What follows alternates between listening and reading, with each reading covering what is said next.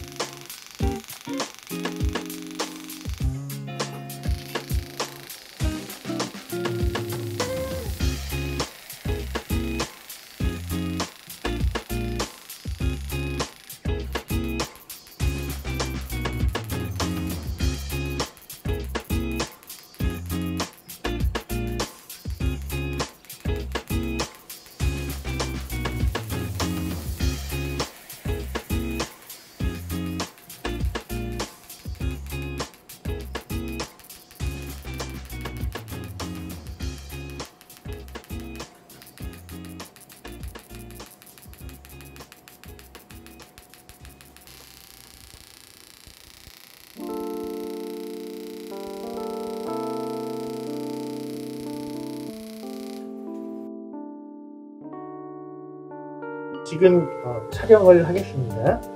네. 네. 어떠셨어요? 자고 일어났을 때 여기 와 있어요.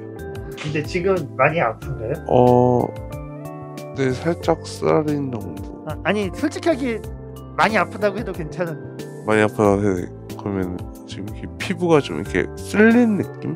아스파트에 갈린 느낌이 든다고 합니다. 맞습니다. 지금 그렇게 피부를 딱 박피를 했기 때문에 많이 아프실 거예요. 쿨링을 하고 있는데 얼음이 지금 거의 따뜻해졌기 때문에 얼음을 한번 교체하겠습니다.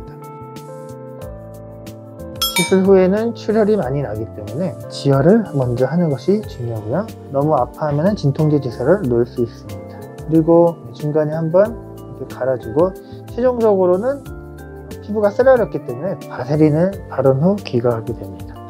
어, 전형적인 이제 좀비 레이저 후에 좀비화된 얼굴을 볼 수 있습니다. 이 상태로 바세린을 다시 바른 후에 집에 가더라도 혼자서 관리를 할 수 없기 때문에 꼭 다음날 병원에 와서 관리를 받으셔야 되죠.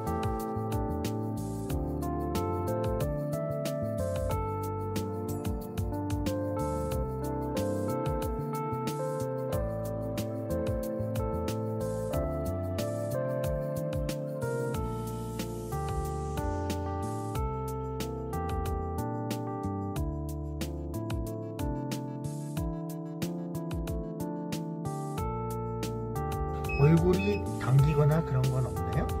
네, 어, 바세린 때문에 당기진 않아요. 가렵진 않았고요. 어, 이제 바세린이랑 피타치랑 같이 연고돼서 흐를 때 살짝 가렵긴 한데, 그래 말고. 아프진 않죠 이제? 네, 지금은 아프지 않았어요.